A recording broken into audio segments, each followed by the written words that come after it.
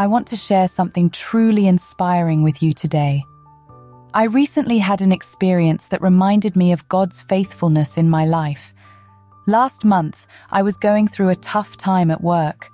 My boss had been giving me a hard time for weeks, criticizing my work and making me feel inadequate.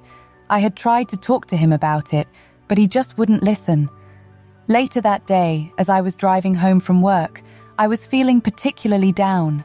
I remember praying to God, asking Him to give me strength and guidance during this difficult time.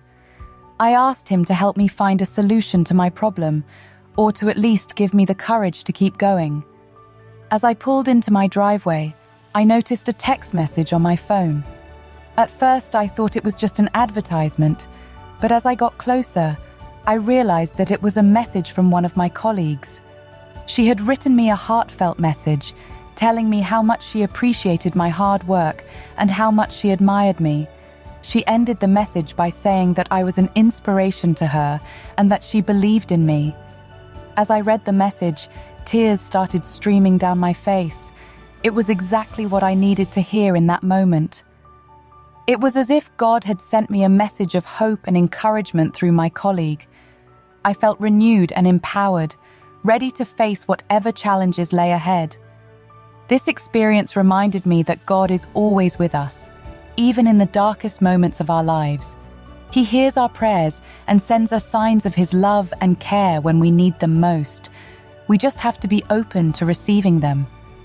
As I sat down to pray later that day, God spoke to me and said, You are exactly where you need to be. Those words alone brought me comfort and gave me hope. But then, He said something else that stuck with me Today is a day of transformation. At the time, I didn't know what that meant, but I trusted that God had a plan. Throughout the next day, I felt a pull to let go of my fears and surrender to the flow of life. I was supposed to attend a meeting, but I felt a nudge to cancel and just let the day unfold. And that's exactly what happened. God led me on a journey of self discovery and growth.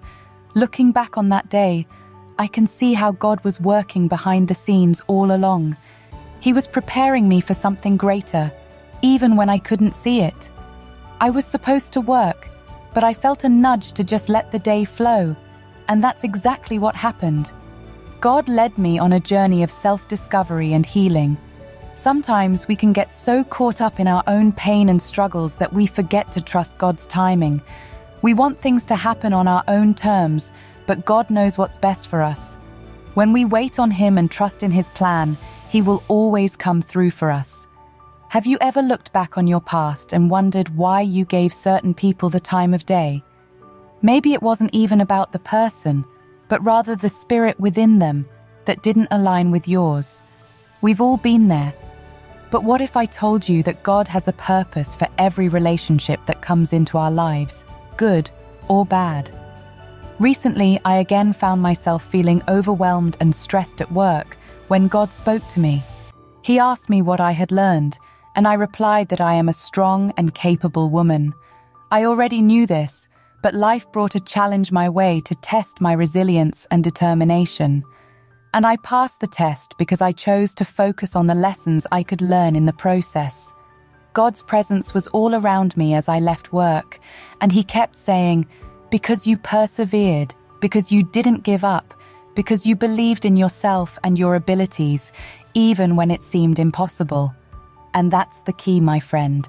Believing in yourself, trusting in your own strength and capabilities, and persevering no matter what challenges come your way, it's easy to get caught up in the chaos of life and forget our own strength when we have God at our side.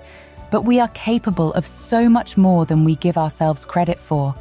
We have the power to overcome any obstacle and achieve our dreams if we just believe in ourselves. It's easy to seek revenge or hold on to bitterness when someone wrongs us, but that only hurts us in the end. When we choose to forgive and let go, we open ourselves up to God's blessings and His plan for our lives. We become vessels of love and grace, just like Jesus. You may have thought that you were stuck going nowhere but let me tell you that your season of stagnation has officially ended. Do not be disheartened. You see, because you waited on God and continued to seek Him, even in the midst of difficult times, He has promised to elevate and promote you in a way that you never thought possible. It may not make sense to you right now, but trust in God's plan and His timing. I know that some of you may be thinking that this message is not meant for you, but it is. If you have been intentional about keeping God first in your life, despite the chaos, heartbreak, anxiety, and grief that you may have experienced, then this message is for you.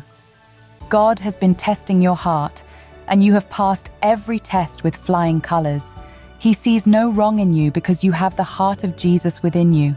You have love and compassion residing in your soul, and God is pleased with your obedience throughout every season.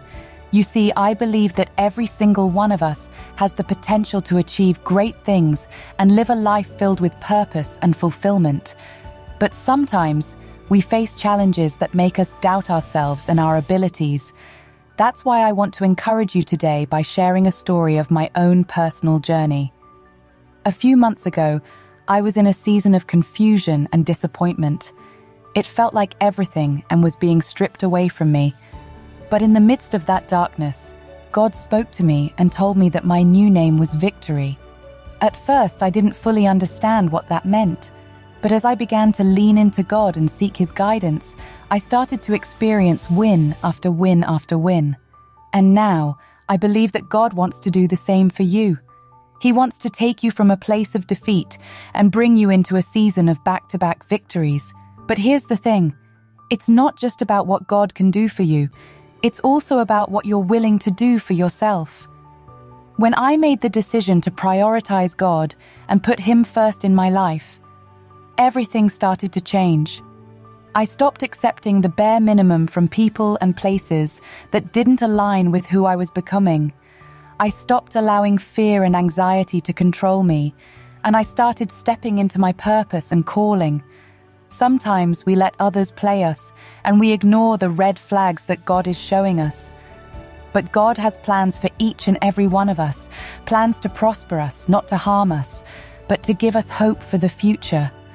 God wants to take you from glory to glory to glory, despite any offense, betrayal, or lies that may have happened to you. Those things weren't done to you, they were done to God, so don't take them personally. Let go of the battles that aren't yours to fight and trust that God is fighting for you. In the midst of chaos and darkness, we need to remind ourselves of our why. What is it that drives us? For some, it may be their children or family. For me, it's who I get to become. Not who I was, not who I am becoming, but who I get to become. I have a vision of who she is, what she wears, where she goes, and what her purpose is and in my darkest moments, I hold on to that vision and hope for the future. If you're reading this, it's because God has a message for you. Maybe you've been waiting patiently for something to happen, and God wants you to know that He's about to flip the script in your life. Overnight, you may become a celebrity in your own right. But remember, every word is not for everybody. Take this message back to God, pray over it, and see if it resonates with you. I want you to know that God loves you and has a plan for you. He wants you to live a life filled with joy and purpose. So don't be afraid to say no and walk away from things that don't align with who you are. Trust that God has your back and that He is fighting for you. Keep seeking, keep praying, and keep growing. You are destined for greatness. Let us pray together. Dear Heavenly Father, I come to you today on behalf of everyone listening to this prayer right now. I pray that they too are reminded of the many times in their life when you have shown them your faithfulness and love. Thank you for the blessings you have bestowed upon them and for the challenges that have helped them grow and become stronger. Lord, I ask that you continue to guide them on their journey and help them find strength and courage in moments of difficulty. Just as you sent me a message of hope and encouragement through my colleague, I pray that you continue to send signs of your love and care when they need them most. I pray that they trust in your plan for their life and ask that you give them the wisdom to discern your will. When they feel lost or confused, I pray that you give them clarity and help them remember that they are exactly where they need to be. Lord, I pray that every relationship in their life has a purpose, whether good or bad. Help them to see the lessons and blessings in each interaction and use them to grow and become a better person. As they face challenges and struggles, I pray for the strength to persevere and the faith to believe in themselves and their abilities. With your help, I know that they can overcome any obstacle and achieve the greatness you have planned for them. Thank you for being with them always and for never leaving their side. I pray that they trust in your goodness and mercy and know that victory is theirs through you. In Jesus' name, amen. Like the video and type amen if you trust in the Lord. Click the link in the description to discover a limited time special offer on a life altering technique designed to help you manifest God's blessings.